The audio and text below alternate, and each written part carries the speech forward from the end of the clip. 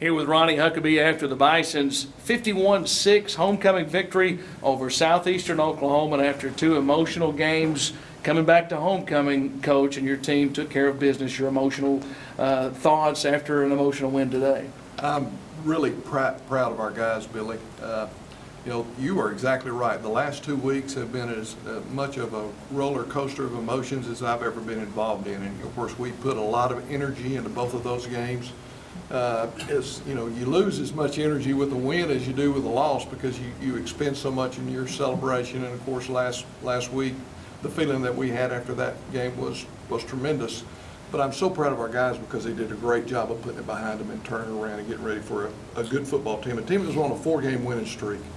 And, uh, you know, we thought that we saw some things that we could take advantage with, with SEO, but, you know, you never know what kind of emotion you're getting from your opponent and that type of thing. And, and I was really proud of our guys because we came out there and made a strong statement in the first quarter that, you know, hey, we were going to take care of business today. And you just look at the, basically the turnover ratio and, and uh, I guess besides the petty fumble, we took pretty good care of the football and we turned them over, you know, a bunch of times.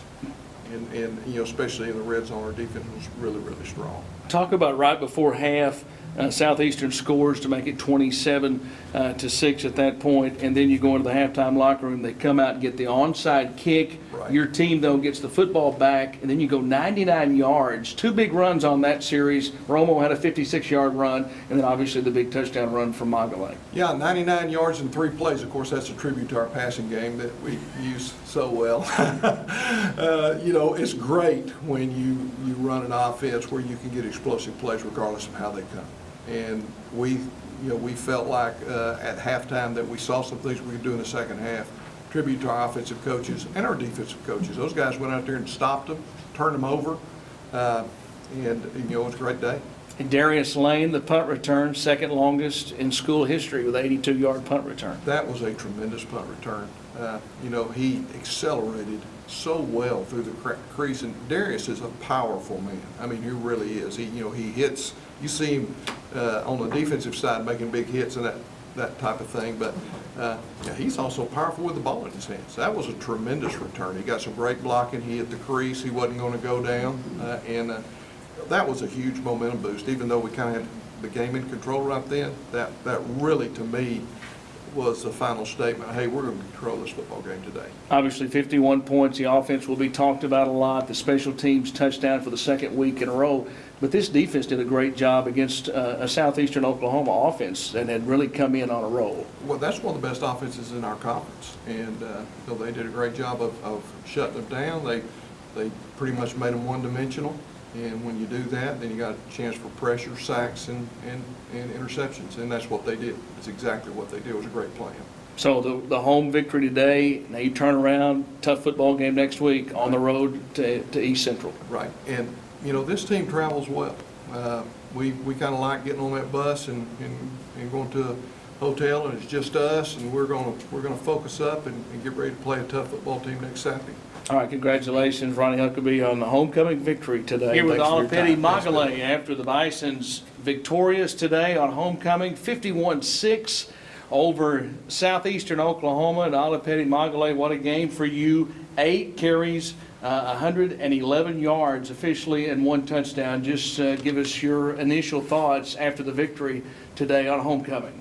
Man, I'm just so proud of us. Uh, we came out ready to ball. Coach told us don't underestimate any teams, and we came out with the same intensity as we did last week, and it was just a good job all around. The whole line did tremendous, and we had some good blocking up front, opened the, opened the holes for a lot of running backs, and yeah, we all had a good game.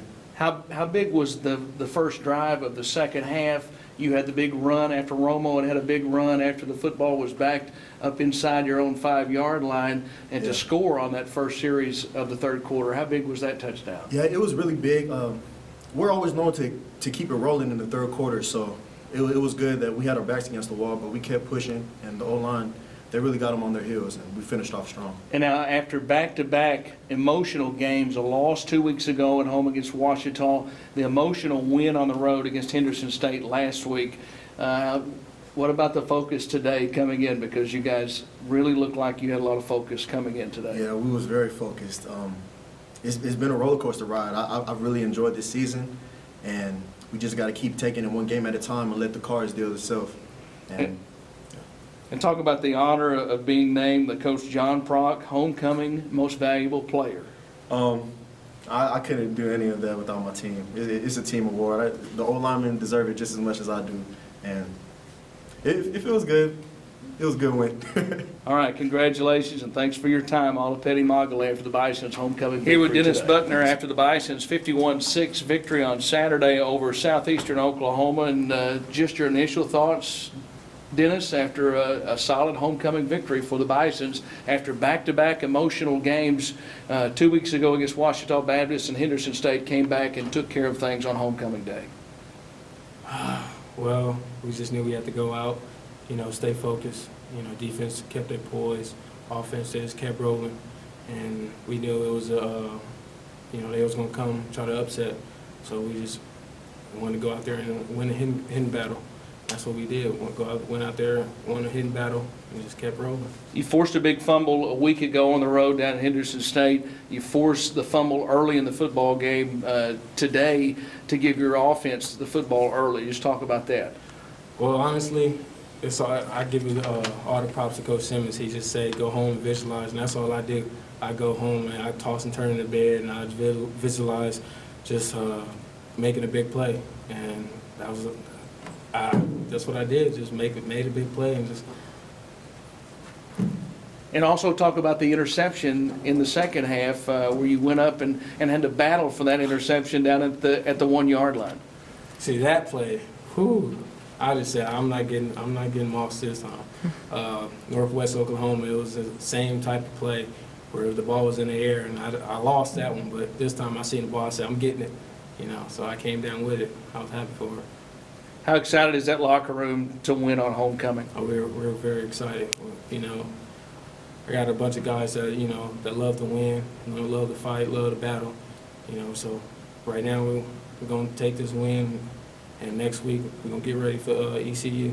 All right, Dennis Buckner, thank you for your time. Congratulations on the victory. Jonathan Coleman with us after the Bison's 51-6 victory on homecoming Saturday at First Security Stadium. And just talk about your initial thoughts on a, on a big homecoming win coming home after an emotional victory on the road last week at Henderson State.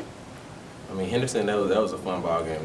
This one was a fun ball game too. Every week we, we work hard and we got a mindset just to win. And I mean, with this family, I, I know the guys will win. It's a real tight brotherhood, and I know we'll always have each other's back. Every victory is the same. I mean, we're trying to get to the ring, so. Talk about your performance today, five tackles, and obviously you were a big part of stopping the run against uh, Southeastern Oklahoma. I mean, I couldn't do it without my team. I give them the glory first. But I had a pretty decent game, five tackles. I feel like I could have had a lot more, but with the team, I mean, the, the ones I didn't get my teammates got, I did miss a lot of tackles, so we're, we're, we're just one. How important was it to come out and, and get off to a good start and, and get the lead at halftime? Uh, very important. We have to have that right mindset. And we went out there and we stomped, um, we scored, kept scoring, kept scoring, gave up one touchdown, but we didn't let it break our break because we still kept the same mentality. And you talk about taking care of business and how special is it to come and, and, and win a game on homecoming uh, with such a big crowd here and, and the excitement after the win last week. Yeah, we love the crowd. We don't let the crowd get to us, though. We feed off the crowd, but I mean, it's all about us. We, we love our fans, but at the end of the day, it's all about us.